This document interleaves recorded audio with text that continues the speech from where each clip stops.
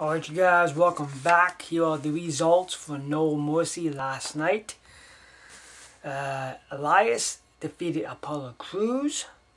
The Miz defeated Jason Jordan to retain the Intercontinental Championship. Finn Balor defeated Bray Wyatt. Seth Rollins and Dean Ambrose defeated Cesaro and Sheamus to retain the Raw Tag Team Champions.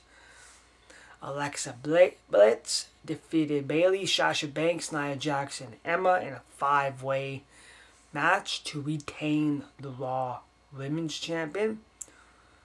Roman Reigns defeated John Cena, and he still gets booed.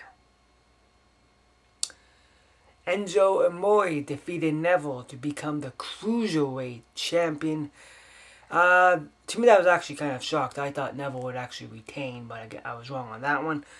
And Brock Lesnar defeated Braun Strowman to retain the Universal Championship. So I got full right. That would be Elias. Elias defeated Apollo Crews. Finn Balor defeated Bray Wyatt. Seth Rollins and Ambrose retained the Raw Tag Team Champions. Brock Lesnar defeated Braun Strowman. I was wrong about The Miz I was wrong about the IC title. I said Jason Jordan was going to be the IC champion. Um, I thought Nia Jax would been, become the Women's champion. John Cena would defeat Roman Reigns. Neville would have defeated Enzo Amore. Um, other than that, the you know the pay per view was okay. Obviously, I never watched it. Um, so I don't know, man. Roman Reigns still getting booed.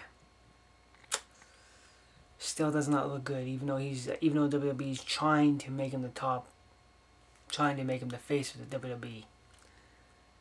I don't know, honestly, I don't know how that's gonna work because he still gets booed.